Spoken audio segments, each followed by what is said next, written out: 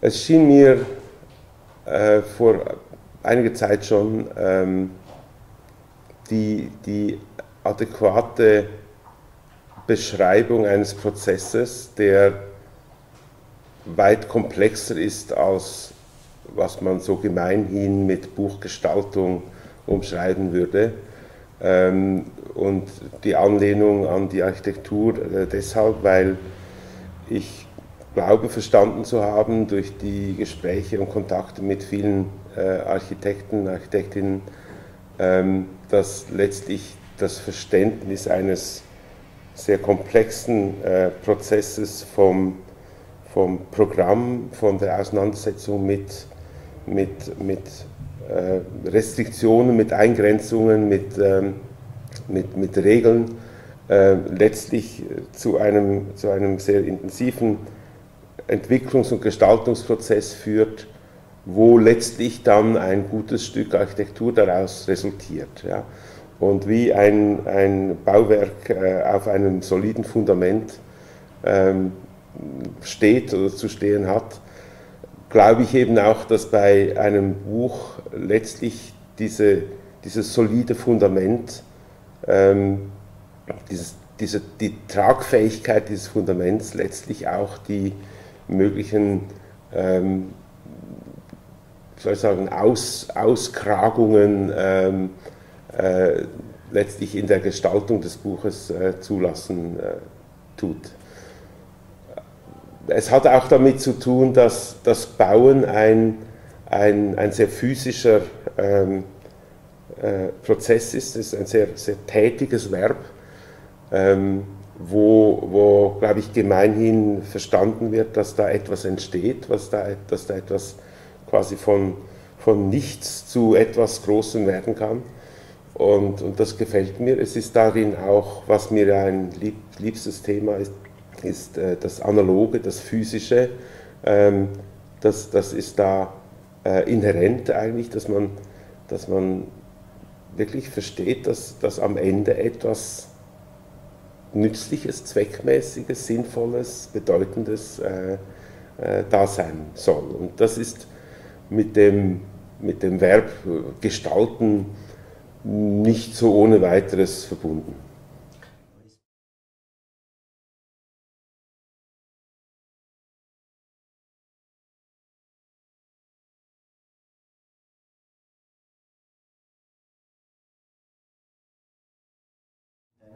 Ja, unbedingt, natürlich. Also äh, das wäre jetzt die zweite Analogie äh, natürlich, das, äh, das, das, das Räumliche, das, äh, der, der, Körper äh, der Architektur ähm, gleich der Körper des Buches, ähm, mit dem natürlich äh, naheliegenden Unterschied, dass die, die Immobilie der Architektur gegenüber dem, dem mobilen, sehr beweglichen, sehr, sehr ähm, körpernahen äh, Objekt des, des Buches. Ähm, ja, ich, ich glaube, man darf es nicht, auch nicht überbewerten. Äh, es ist vielleicht eher so eine, eine auch äh, ein, ein Flirt des Verlegers mit der anderen Disziplin. Ja, also es ist so die, äh, da ich ja, da ich ja äh, auch leidenschaftlich Gestalter bin, ist es mir wichtig, dass das Entstehen des Buches eigentlich der für mich wesentliche Teil des Prozesses ist. Ja, also es ist ähm, natürlich ist nachher das, das Vertreiben, das Verbreiten ähm, ebenso wichtig und die, die, die Kernaufgabe vielleicht äh, des Verlages, aber für mich als, als Person und, und als Gestalter ist dieser Prozess des Werdens äh, des Buches ganz äh, äh wesentlich. Und wenn ich das richtig verstanden habe, dann ist es ja so, äh, dass, dass ein Buch äh, bzw. eine Architektur nicht grundlos entsteht. Es sind ja auch erhebliche Investitionen in Geld und Arbeit äh, damit verbunden. Und bei einem Buch denke ich mir dasselbe, dass man sich gute Gründe geben muss, um ein Buch zu bauen. Und ähm, das eigentlich damit beginnt, dass man sich klar wird und oftmals eben auch in Partnerschaft mit Bauherren ähm, bzw. Herausgebern, Autoren Autorin, ähm, dass man sich klar wird über die, die, die Absicht, die Intention, was eben dieses Bauwerk dann zum Schluss ähm, so an, an Bedeutung äh, tragen kann. Und da sehe ich eben diese Analogie. Also es ist eben dann eben nicht nur romantisch gedacht, sondern auch durchaus äh, eine, eine, eine Anleitung, diesen Prozess auch zu kontrollieren, von der, von der, vom, vom Programm äh, über das Konzept hin zu dieser, dieser gestalteten Umsetzung. Und, und wie in der Architektur denke ich, dass wir unsere, unsere ähm, Fähigkeiten und, und auch unsere, unsere kreativen ähm, Eingebungen an den Restriktionen schärfen. Also das ist so irgendwo die Parzellengrenze quasi ideell zu setzen und, und innerhalb dieser gegebenen Parameter eben diese maximale Lösung zu suchen.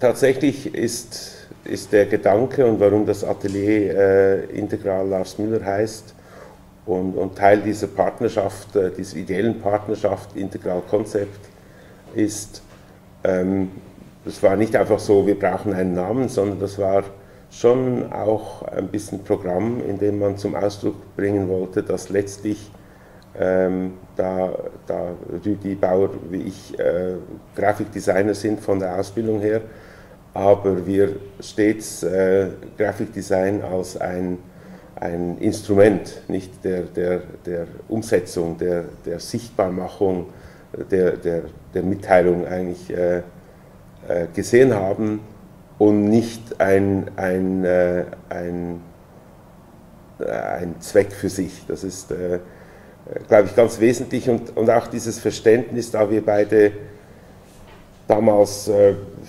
sehr, sehr ähm, entschlossen und ideologisch unterwegs waren, ähm, wir eigentlich so äh, immer versucht haben, Gestaltung und, und visuelle Kommunikation in dem Sinn in einem gesellschaftlichen Zusammenhang zu sehen. Nun, äh, man, man reift so mit der Zeit und man stellt fest, und das äh, bringt mich zurück auf den Gestalter-Verleger, dass letztlich ähm, ich wahrscheinlich am, am wirksamsten, äh, am, am glaubwürdigsten bin, wenn ich eben versuche, diese Authentizität, so, also meine Persönlichkeit als Ganzes einzubringen in diese, in diese äh, Tätigkeit des, des äh, Verlegens. Und, und, und da ist ja die Integralität gegeben. Ich meine, wir, wir sind alle äh, sehr komplexe, integrale Wesen. Also ist äh, gar nicht äh, anders zu denken. Es, es, es lässt sich, unsere Physis lässt sich gar nicht äh, aufteilen in, das ist, das, ist, das ist eine komplexe Gleichzeitigkeit von unendlich vielen ähm, äh, Funktionen und, und, und Vorgängen. Äh, Integral Konzept oder Integral äh, Lars Müller sind letztlich auch, ähm, äh, wie soll ich sagen, auch, auch äh, Hinweise oder Ankündigungen an alle meine Gesprächs- und Arbeitspartner, weil ich letztlich ja, was ich da von mir selber einfordere, auch von dir einfordern würde. Dass man also sagt, ja, wir, wir sollten uns, uns einfach ähm, bewusst sein, in welchem Kontext wir, wir da äh, operieren und tätig sind und und letztlich auch die Fähigkeit, und ich glaube, das ist Teil des Integralen, ähm, aus dieser Fülle von, von Informationen und Hinweisen eben auch zu antizipieren, was letztlich die Zukunft meines Buches, meines Bauwerkes äh, sein kann. Ja. Und, und darin unterscheidet sich der, der, der Gedanke des Integralen, der ganz nahe auch verbunden ist mit dem Begriff des Generalisten ähm, von der Sichtweise des Spezialisten. Und ich glaube, dass da, da hängen ganz viele Sachen zusammen und ich würde da jetzt noch einmal referieren wollen auf dieses Bücher bauen, diese, diese Analogie zur Architektur, ähm, wo ich glaube, dass der Architekt, der also meine Generation oder etwas jünger, ich bedauerlicherweise scheint sich das ein bisschen zu verlieren, dass sich also viele Architekten, deren Arbeiten wir schätzen, sich durchaus, ob sie sich so bezeichnen oder nicht, aber als Generalisten verstehen. Und, und dass sie damit auch etwas wie eine, eine, eine, eine, eine Haltung, eine humanistische Haltung verbinden, die auch natürlich, und da wird es schon komplexer, die auch äh, in, im Zusammenhang mit einem, mit einem vereinbarten Bildungskanon steht. Also dass man eigentlich äh, sagt, wir, wir sind uns einig, worüber wir reden. Also wir haben eine gemeinsame Grundlage, auf der wir aktuelle Situationen verhandeln können, wo unendlich viele Aspekte reinarbeiten. Und ich äh, erinnere mich gern, oder ich, ich pflege das eigentlich heute noch, dass ich ab und zu Architekten daran erinnere, dass sie eben nicht nur Architekten sind, sondern auch Bürger. Und da kann es durchaus sein, dass ein junges Publikum ein bisschen ratlos in die Wäsche schaut, ähm, weil sie eigentlich die Verbindung nicht herstellen. Ja? Also die sehen sich als Architekten und unter Umständen innerhalb der Architektur dann sogar als Spezialisten auf einem Gebiet, aber der eigentliche Ursprung des Architekten als, als eine schöpferische äh, äh, Instanz, ja, und, und, schöpfen kann man äh, schlechterdings nur, wenn man eine, eine, eine komplexe äh, Materialvoraussetzung äh, hat. Und, und, das wäre eben dieses integrale Verständnis. Es berührt so die Philosophie, da haben ganz viele gescheite Menschen darüber nachgedacht. Ähm, so kompliziert muss es nicht sein. Es ist einfach ein gutes Gefühl. So, dass das Gefühl, etwas etwas Komplexes zu schaffen, etwas in seinen vielen Dimensionen verstanden zu haben und einen Teil dieses Verständnisses auch dann äh, äh vermitteln zu können, mit Mitteln der Gestaltung, mit, mit natürlich umsichtigen äh, Umgang mit Inhalt und so weiter.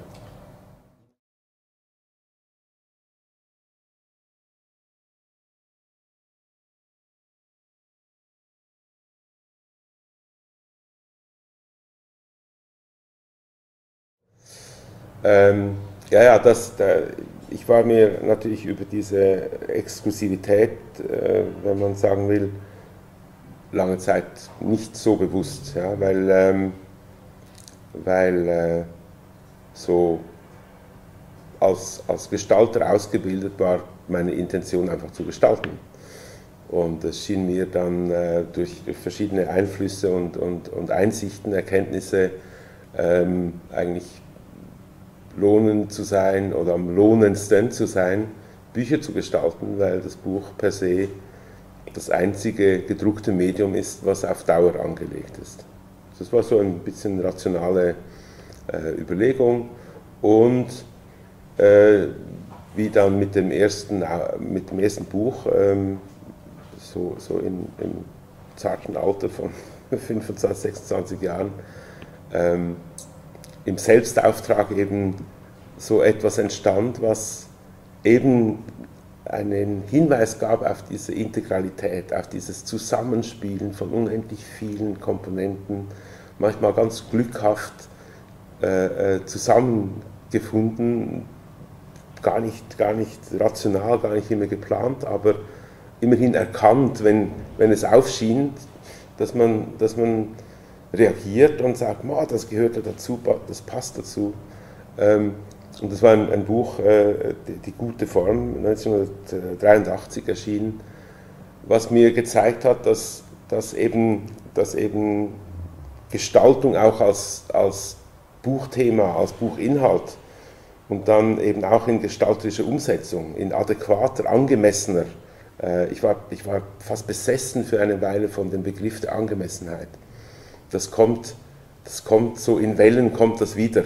Wenn ich mal so irgendwie satt und, und, und irgendwie so von diesem zu viel von allem, so, dann denke ich, ja, irgendwie fehlt uns dieses Verständnis des Angemessenen. Und das war damals schon entstanden und man kann, man kann ja durchaus auch angemessen feierlich und, und, und üppig, also es kann durchaus auch mal angemessen sein. Und das habe ich irgendwo dies, bei diesem ersten Buch und, die, und, den Menschen, die darauf sehr gut reagiert haben, äh, verstanden, habe gedacht, hm, das wäre etwas, wo, wo man ähm, vielleicht so auch ein Gestalterleben damit fristen kann. So. Ähm, Verleger war ich damit noch lange nicht. Ja, das, das äh, Verleger kann man nicht per Entscheidung sein, das, das wird man eigentlich durch, durch, durch die Aneignung von Erfahrung, von, von, von Nachgedanken letztlich über die Konsequenz äh, dieses, dieses Tuns. Ich glaube, was, was mir damals wichtig war, war zu erkennen, dass letztlich äh, jedes Buch, welches ich so initiiere, einen sehr großen Teil meiner Persönlichkeit auch preisgibt. Ja. Und, und wie du sagst, wenn, wenn man sagt, okay, das sind Inhalte, Design, Architektur, Fotografie, Kunst, das würde ich alles zu dieser Nische des Schönen zählen, ähm, in der man als äh, Gestalter und so Kulturaktivist äh, in gewissem Sinne ähm, auch hineinwächst. Ja? Und das ist eine, eine, eine sehr privilegierte, eine sehr exklusive, aber für die Gesellschaft nicht sehr repräsentative Nische. Ähm, eine Nische auch, wenn ich das kritisch äh, anmerken darf, und ich bin sicher, dass das gilt äh, hier wie, wie, wie in der Schweiz oder überall, ähm, eine, eine Nische auch, die sich zunehmend selber gefällt und sich gar keine gesellschaftliche Aufgabe mehr äh, äh, zu, zuspricht äh, und, und dadurch für mich ein bisschen an Relevanz auch verliert. Ja? Und es kam mal äh, vor 20 Jahren vielleicht, 15, 20 Jahren, ähm, durchaus in Verbindung mit der äh, Geburt oder dem Heranwachsen meiner Tochter kam letztlich die, die Frage nach dieser Relevanz, also was bedeutet das, was ich da tue, ähm, die, die kam dann auf und, und wurde immer wichtiger und es kam dann diese Sektion der Gesellschaft dazu. Und seither tue ich nichts wesentlich anderes als davor, außer dass sich diese Frage der gesellschaftlichen Bedeutung, Gestalt, äh, Relevanz und, und äh, ähm, ja, Bedeutung äh, dazu gesellt. Also dass eigentlich jedes Buch sich daraufhin befragen lassen muss, ob es einen Beitrag leistet zu unserem Verständnis unserer jeweiligen Gegenwart. Und da schließe ich immer die Gestaltung mit ein, weil ich denke, dass das ist äh, die Gestaltung, Grafikdesign, wie aber auch Architektur ist quasi ein, ein, ein, der wahrscheinlich ehrlichste Ausdruck unserer Befindlichkeit. Ja, also wo wir, die, ich kann die Mode noch dazu nehmen und natürlich auch zeitgenössische Kunst, aber dass wir sagen, letztlich als sehende Menschen äh, haben wir das Bedürfnis, ähm, uns visuell auszudrücken. Und Buchgestaltung, glaube ich, letztlich ist, ist weil, an eine, äh, weil, weil funktional an einen Inhalt gebunden, ist letztlich ein sehr glaubwürdiger ähm, Maßstab letztlich für dieses, für dieses Befinden. Man kann im Schlechten sagen, ähm, ein Buch, welches nicht mehr lesbar ist, aber formal überschwänglich äh, äh, erscheint, äh, ist genauso ein Ausdruck einer Befindlichkeit äh, und ich sage mal vielleicht einer Langeweile oder eines Überdrusses äh, der Gesellschaft, wie es ein straightforward gestaltetes, ähm, schön gestaltetes äh, Textbuch es sein kann. Und ich glaube, in diesem, in diesem Spannungsfeld, da halten wir uns auf und da habe ich mich jetzt wirklich 30 Jahre ähm, ich sag mal, vergnügt, wenn das nicht zu frivol ist, aber ich habe mich gut unterhalten dabei. Heute ist mir einfach diese gesellschaftliche Relevanz zusätzlich als eine, eine wie, wie eine, eine, eine, eine Bauvorgabe, so, so quasi, quasi höher darfst du nicht bauen. So, also es muss sich irgendwie innerhalb dieses Rahmens bewegen. Es gibt eine Wunschsektion, die ist noch nicht auf dem Katalog gedruckt und das wäre die Wissenschaft. Ja, also über, über, über Kunstdesign, Fotografie, ähm, Architektur, Gesellschaft würde ich eigentlich einen Schritt weitergehen heute und sagen, Science, äh, Forschung äh, und Wissenschaft würde dazugehören, weil ich ähm, äh, über die vielen Jahre jetzt von meiner, meinen vielleicht äh, ideologischen Wurzeln mich insoweit entfernt habe, als ich denke, es bleibt uns nicht genügend Zeit, um die Gesellschaft von innen zu verändern. Ja, das, das, das ist ernüchternd eigentlich, aber das heißt auch, dass wir letztlich Zuflucht suchen zu Wissenschaft und Technologie, um durch Innovation ähm, den Schaden zu begrenzen, den wir als, ähm, als Menschen ähm, äh, des, des 20. Jahrhunderts und, und auch seither äh, verursachen. Gut, das, das mag jetzt so, das ist jetzt ein bisschen von, von außen hergeholt, baue ich in dieses integrale Verständnis von Welt äh, ein und überlege mir, wie kann ich mit Büchern einen kleinen Beitrag dazu leisten, dass dieses Verständnis sich verbreitet, dass wir zumindest nicht die Wissenschaft und die Technologie vorsätzlich behindern.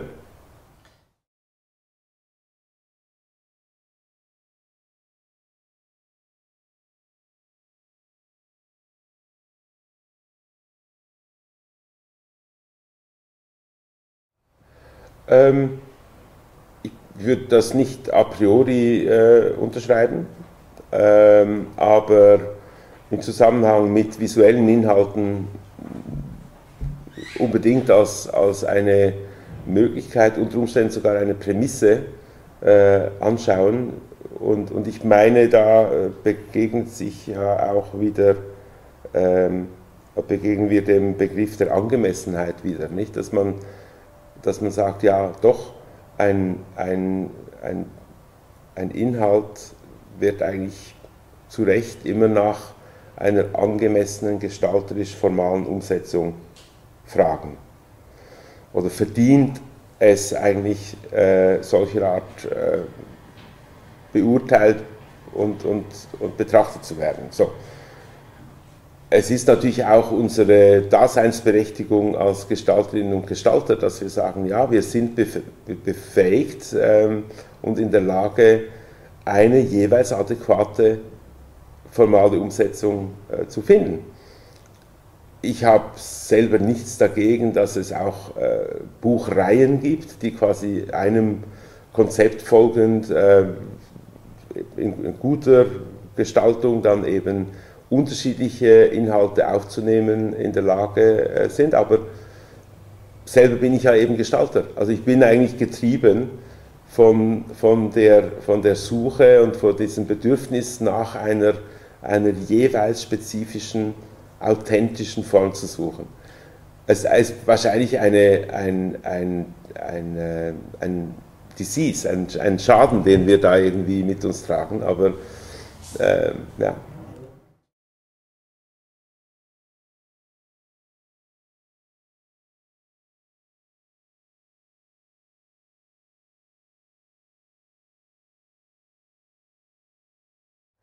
Ja, ähm, äh, ich sage mal so, ähm, nicht zu lange her haben wir hier an der Wand gearbeitet und ähm, es kam ein Besuch vorbei äh, und, und haben uns eine Weile zugeschaut und sich gewundert, was starren die immer an dieser Wand dran und so. Ähm, und irgendwie glaube ich, ähm, es ist richtig, aber es ist, auch, es ist auch wichtig, dass man das jetzt auch nicht, äh, nicht, nicht zu sehr idealisiert. Die Wand, die, die hat, das war mein wichtigstes Arbeitsinstrument eigentlich, noch lange vor dem Computer, also in einer analogen Gestaltungs-, Gestalterausbildung, ähm, sei es der Boden oder die Wand, wir haben die Dinge ausgelegt und angeschaut und verglichen. Ähm, und, und eigentlich war, war dieses, dieses, diese Gleichzeitigkeit, also das quasi, quasi der, der, der, der, der, der Schweif meines Blickes, ja, diese, diese Übersicht zu haben, äh, das war das Natürlichste der Welt. Und irgendwie war es äußerst gewöhnungsbedürftig, äh, dass, dass dann ähm, durch, durch, den, durch den Computer, durch den Bildschirm ähm, dieses, dieses Nebeneinander zu einem Hintereinander wurde. Ja. Ähm, ich würde behaupten, ich habe mich heute noch nicht daran gewöhnt. Ähm, und, und ich, ich, glaube, von daher hat sich die, hat die, die Wand äh, überlebt als ein urehrliches, solides Arbeitswerkzeug. Und schlechterdings kann ich mir gar nicht vorstellen, dass man Bücher anders beurteilen kann, weil es ist die einzige Art, äh, wie man, wie man den Rhythmus als Übersicht sieht. Es wird nie ein Leser, eine Leserin, Betrachterin das Buch so wahrnehmen. Das ist ein großes Privileg eigentlich des Machens, äh, dass man, dass man quasi diese Kontrolle hat und diese Bewegung. Ähm, und, und es hat etwas zu tun ähm, damit, äh, ich habe das mal in, in, in Los Angeles studiert, alte Storyboards von, von frühen Filmen oder großen äh, Regisseuren, das ist genau dasselbe, nicht? Dass, dass, dass eigentlich das, das notierte, verzeichnete äh, Storyboard eigentlich diesen Aufschluss gibt und da auch die Korrekturen sichtbar werden. Nicht? Also das, das, auch Teil dieses Analogen ist, dass man eigentlich den Prozess sichtbar macht und nicht der, der Versuchung, äh, jetzt sage ich wieder des Bildschirms, dass man sagt, ja, man, man klickt das Falsche weg und holt, es ist so, sondern es ist eigentlich Prozess dargestellt. Wir, wir, wir wir überkleben dann, also wir, wir, wir können das quasi als, wie ein Journal lesen, was sich wie entwickelt hat. Und das ist die Wand, das ist, und, und das ist eigentlich das, das auch das, das Kommunikationsmittel eigentlich zwischen mir und Autoren oder Herausgebern und beteiligten Gestaltern.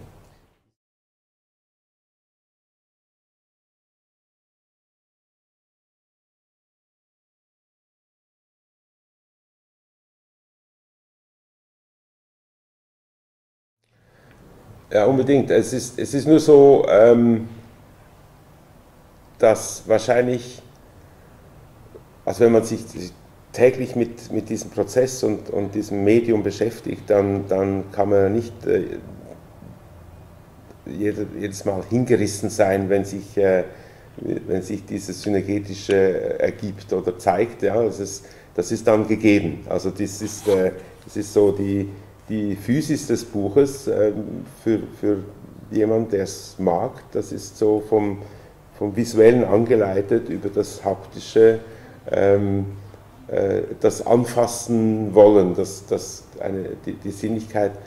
Es dauert eine Weile, bis, äh, außer es wäre auch unangenehm, bis man das Buch über seinen Geruch wahrnimmt. Äh, das, das scheint mir so ein bisschen, also natürlich gibt es sehr geruchsensible Menschen, aber es ist nicht das primäre, also nicht ein primäres Merkmal. Äh, ich glaube, dass das Sichtbare und das, das Fühlbare, das Taktile, das sind die dominierenden ähm, äh, sinnlichen, sinnlichen Merkmale äh, des Buches. Wie das aber zustande kommt, ich meine, dass, dass, das jetzt so in, in dieser Form in meiner Hand liegt, das will ja alles gedacht werden. Das will ja alles so von diesem Programm, von diesem, ich sag mal, von dieser, dieser Wahrnehmung, Definition und Bestimmung von Perimetern, wo, wo ich sage, innerhalb von diesen Grenzen will und muss dieses äh, Ding entstehen. Ja.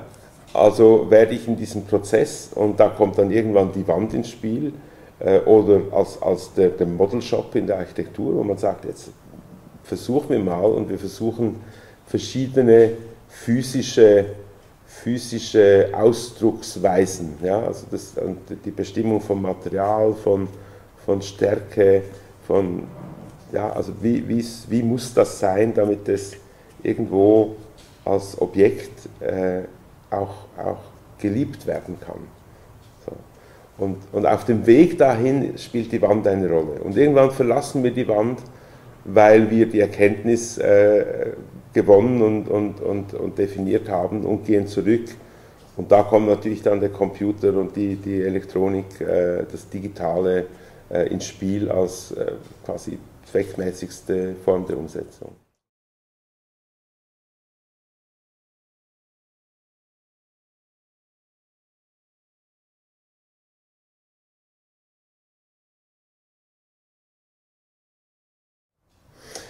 Ja, das, das habe ich mir so angewöhnt und das darf ich mir auch leisten, weil wir ähm, ähm, keinen Marketing äh, Director äh, haben, der uns da was anderes vorgibt.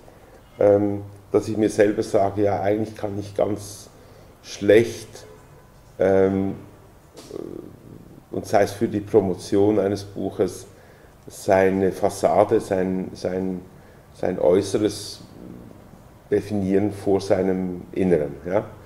Ähm, das ist äh, manchmal auch erschwerend für, für, die, für die Kommunikationsarbeit, aber ähm, hat insofern etwas äh, wieder Analoges zur Architektur, als man sagt, die Glaubwürdigkeit eines Bauwerkes ähm, ist schlechterdings die, die, die, die Kongruenz zwischen seinem Äußeren und seinem Inneren. Also es, es kann, also es muss letztlich ein, eine Kirche wie eine Kirche ausschauen dürfen und ein Parkhaus wie ein Parkhaus.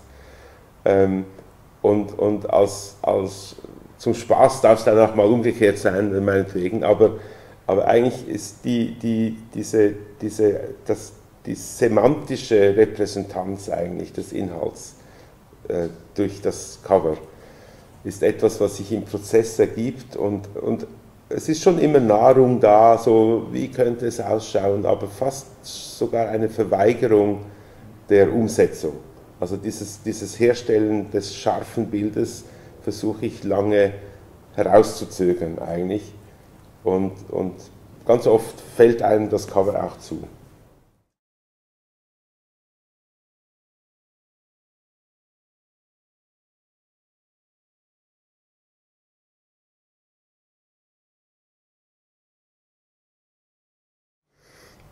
Also persönlich äh, betrachtet hat ähm, jedes Buch äh, seine, seine Geschichte, äh, die sich mal mehr oder weniger zu, zu erzählen lohnt, weil über meine eigene äh, Erinnerung oder Erfahrung hinaus es vielleicht etwas hergibt für, für eine, eine, ein, ein kollektiveres Verständnis von Prozess oder Bedeutung, was immer.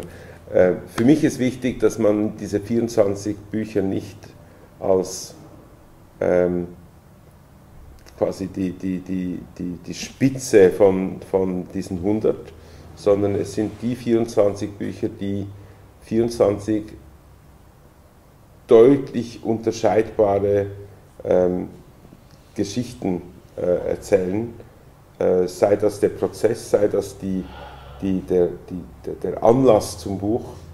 Ähm, es sind zumeist Bücher, äh, bei denen ich entweder der Erfinder, der Initiant, der Anreger war oder auf jeden Fall von, von sehr früh, von Anfang an äh, an dem Prozess beteiligt, was eben auch wieder zeigt, dass, dass es nicht letztlich äh, um den Auftrag an den Grafikdesigner geht.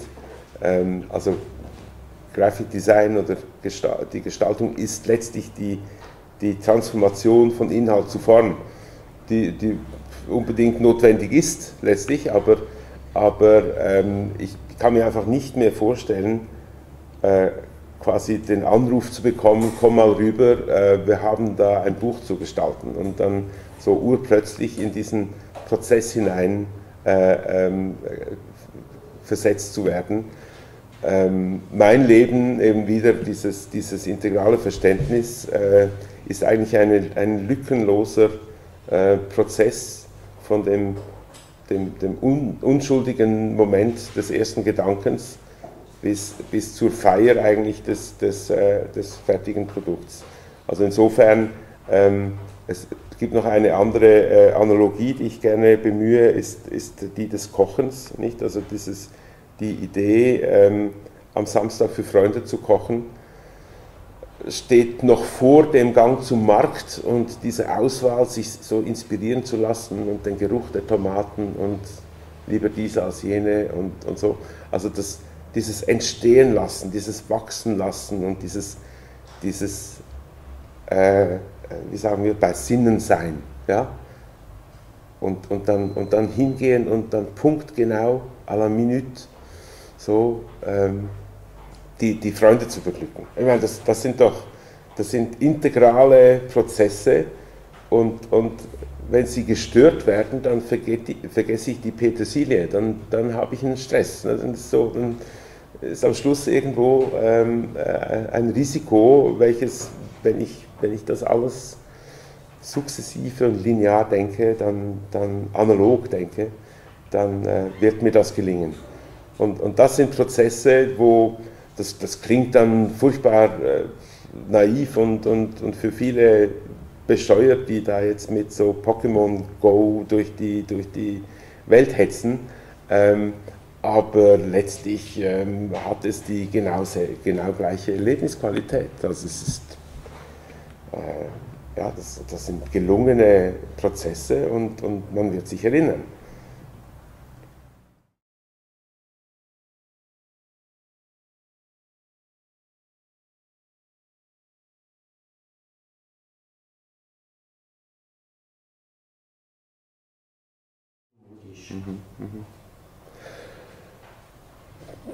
Ja, wahrscheinlich stimmt das. Äh, es, es, war so, dass ähm, so in, in, diesem, in diesem das Weltbild, äh, welchem eine, eine doch äh, ziemlich reine marxistische äh, Ideologie ideologische äh, äh, Theorie zugrunde lag, da hatte die Mode keinen Platz. Ja? Und das war eigentlich noch vor der Entscheidung oder vor, der, vor, vor, vor dieser Ausbildung zum, zum Grafiker, zum Gestalter, ähm, war das äh, gegeben. Ja, das war eigentlich so, dass, dass eigentlich die, die, die allererste ähm, äh, Verweigerung der Mitgliedschaft an, dieser, an der, an der, an der äh, herrschenden, ähm, äh, dieser kapitalistischen äh, äh, Ordnung, ähm, eigentlich die Verweigerung des Konsums und damit auch der Moden verbunden war. Das gab, ein, das gab Spielraum für ein ganz tolles Leben. Also ich, ich meine, Natürlich haben wir Geld verdient und natürlich haben wir Geld ausgegeben, aber wir haben, glaube ich, investiert in Prozesse und in Erfahrungen. Ganz früh gereist, ganz früh, ganz weit gereist und viel gereist und ganz viel angestellt mit den Mitteln, die man zur Verfügung hatte. Und die Mode, die kam überhaupt nie, überhaupt zum, zum, zum Tragen oder zu, das war kein Beitrag. Ja. Als Gestalter dann wiederum ähm, war ich so äh, stark in den Fängen von, von, von Schweizer Modernisten, ähm, namentlich äh, Josef Müller-Brockmann und Richard Paul Lose, über, über viele Jahre. Äh, und ich, ich habe das auch genießen können, dass da so klare Richtlinien, Gesetzmäßigkeiten waren, die logisch begründet waren, die, die, die auch ihre Tauglichkeit schon längst unter Beweis gestellt haben äh, hatten. Äh, und ich kann heute sagen, dass ich ein, ein äh, ähm, wie soll ich sagen, ein hedonistischer Modernist bin. Ja? Also ich bin in der Lage, ähm, so in, in einem relativ breiten Spektrum zu genießen, Gestaltung und visuelle äh, Erscheinungen zu genießen, auch wenn sie nicht absolut ähm, äh, irgendwelchen Prinzipien folgen oder gehorchen, aber über eine intelligente Ordnung verfügen.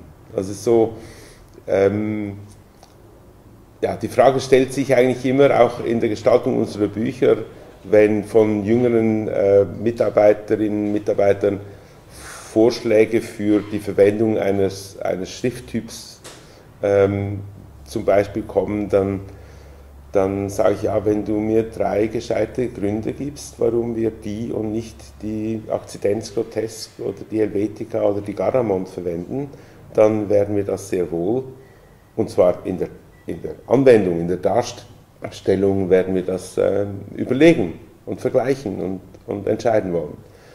Und oft bleiben halt die drei gescheiten Gründe aus. Und dann sind wir schnell wieder bei den soliden, vielleicht modernistischen äh, Regeln angelangt, wo ich weiß, wie zuverlässig sie sind und ich weiß, dass eben an allen Moden vorbei vielleicht das, die, die angemessene Art der Umsetzung ist.